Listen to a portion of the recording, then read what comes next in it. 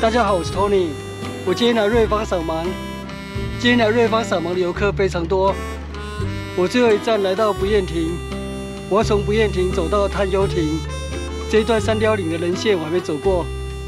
这边的芒花听说也很漂亮，所以下午就过来这边走一走。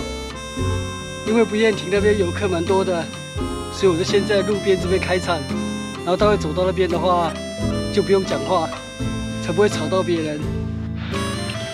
不厌亭就位于瑞芳与双溪的交界处，已经算是双溪区了，大约位于一零二公路二十点五 K 附近。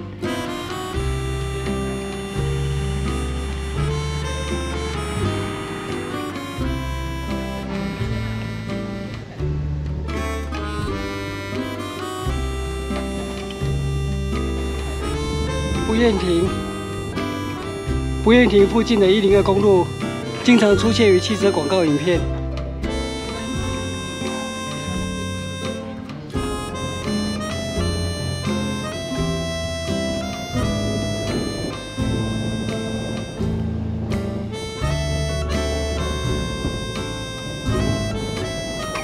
我现在循着这条人线走往不厌亭。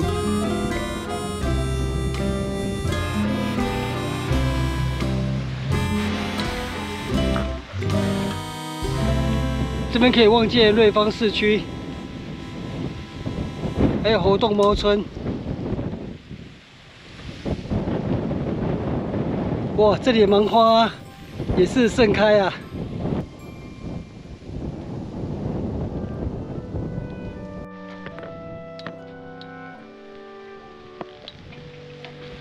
这条山径现在路况变得很好。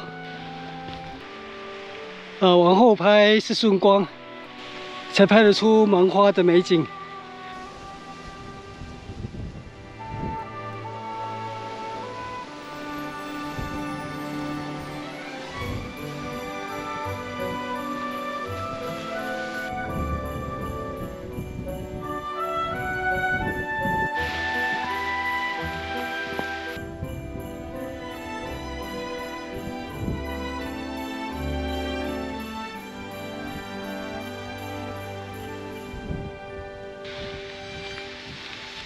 我到山顶了，山雕轮，海拔五百五十五公尺。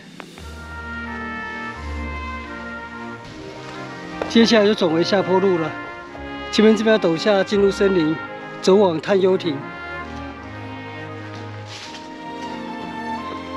一小段陡下而已，现在进入平缓的路段。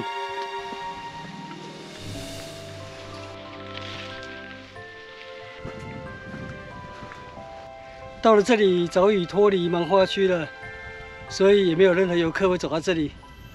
这是登山客在走的山径，这里要往上爬了。人线上会有一些小山头，所以难免会有上下起伏。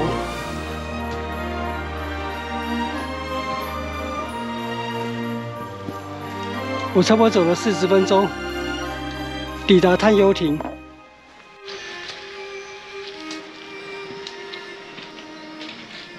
探幽亭旁边这边有类似旗杆座的基座遗迹。探幽亭是金字碑古道的越岭干部，古道的最高点。金字碑古道也是清代淡南官道其中的一段。古道上最著名的史迹就是同治六年台湾总兵刘明登所勒石刻制的金字碑，就在附近。探幽亭这里有一块古碑。是咸丰元年立的奉献示敬碑，内容是警告路人勿滥砍附近的山林。这块古碑的碑文被誉为是台湾最早的环保碑文。咸丰元年，古碑的刻字都已经模糊了。金字碑古道又称三雕岭古道，大约在清代道光初年就已经成为淡南官道的主要路线。道光元年，前往格马兰就任通判的姚莹，就是走这条古道。他的《台北道里记》这篇文章就有提到登三吊岭古道沿途所见的风景。因为岭岸部这边有一座古老的土地公庙，这边的古道往猴洞方向，大约下行十分钟吧，就会抵达金字碑。既然来了，我还是去看一下金字碑好了，不然会对刘明灯不好意思。不过这里有拉警戒线，看起来应该是没有影响。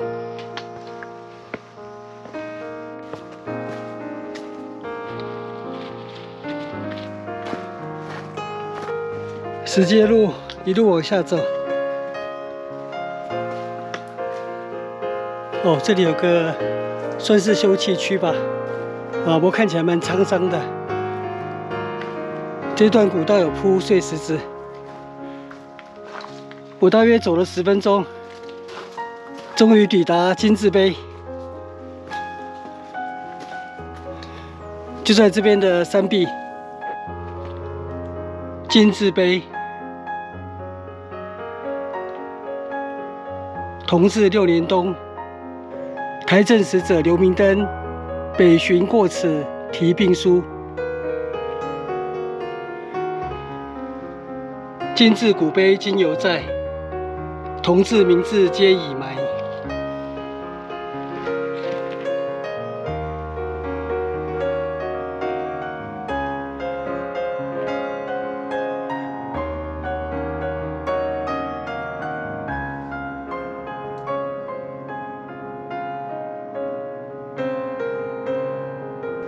我现在离开金字碑了，要爬回探幽亭，往上爬至少花十五分钟吧。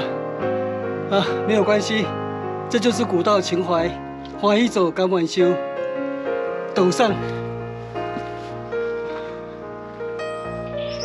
哦，原来是台湾猕猴了，我让他过。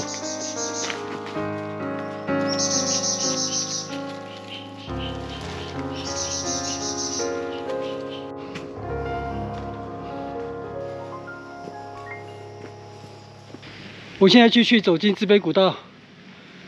往牡丹方向下去就接一零二公路，我走公路回到不厌亭，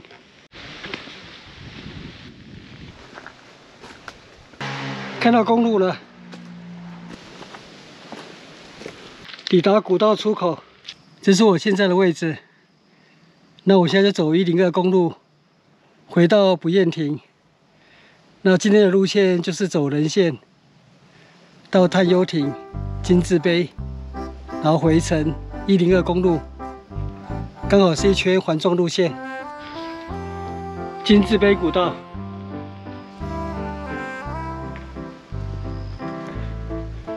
现在走公路，大概走一公里多吧。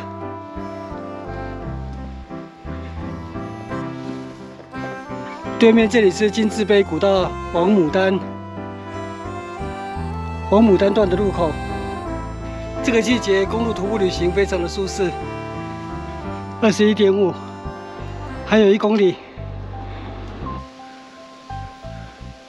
望见不厌停的。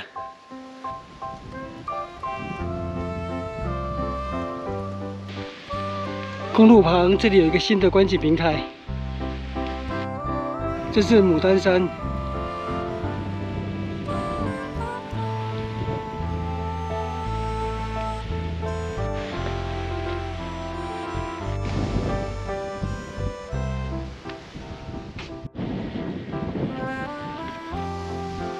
我从这边上去人线，来拍一下黄昏的芒花。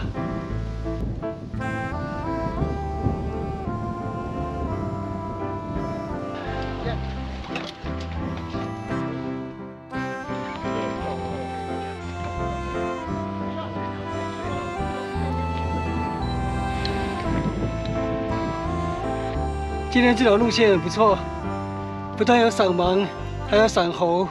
有走古道，也有看古迹，啊，很棒的一条路线，推荐给大家。